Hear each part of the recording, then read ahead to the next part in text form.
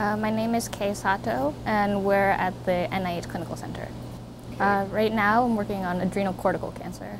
The adrenals are uh, the organs on top of the kidneys, um, and it's a very rare uh, cancer that only occurs in about one to two per million population, um, but it's a very devastating cancer that occurs. So for patients that present with adrenal cortical cancer, most of them present uh, at a very late stage, and so uh, at that point, the options available to them are very few. Um, and so their prognosis and their survival tends to be very poor. Uh, so short term, what, what, I'm looking at is looking at new drugs that might be available to treat adrenal cortical cancer. Um, so right now we're only working in cells, uh, adrenal cortical cell lines. Mm. I think right now my stage, part of it is exploration of what is possible.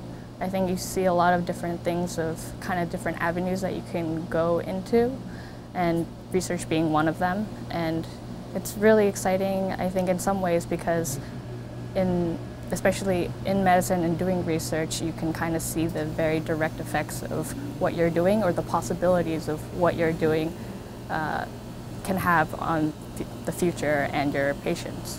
Well, I grew up in Massachusetts, a little bit northeast of Boston, in a pretty small town. My parents, uh, my dad is an engineer, so not in the biological sciences, but he was a physicist. Um, and getting here, I actually, I guess I got interested in science in high school um, and I decided to become a biochemistry major in college.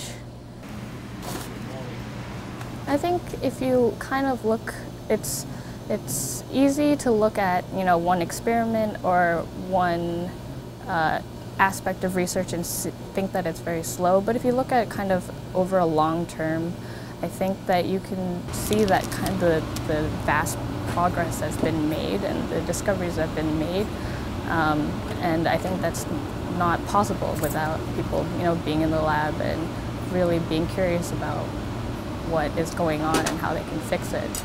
Um, and I think that's the most exciting thing about it is that there is that possibility that what you're doing, maybe you're adding a drop to the vast amount of knowledge there is, but overall the progress is forward. Actually, I was doing the seahorse. Uh, oh, okay. This, this work and this research is really collaborative. I work with, you know, a lot of the people in the lab. They help me every day, um, help me dealing with the, the experiments. They help me kind of design things. They help me analyze my data. Um, and really, without them, it wouldn't be really possible for me to do what I'm doing. Do you think it's promising? Yeah, no, it looks like it is. Okay. I think the the thing that's exciting about it is the sense of discovery that you can get, um, yeah. and something that may or may not be something that anyone else has really seen or known. Always, in theory, things seem better or worse than you they might be in reality. So, I think the best thing is to go out and get exposure to what you might think you might be interested in.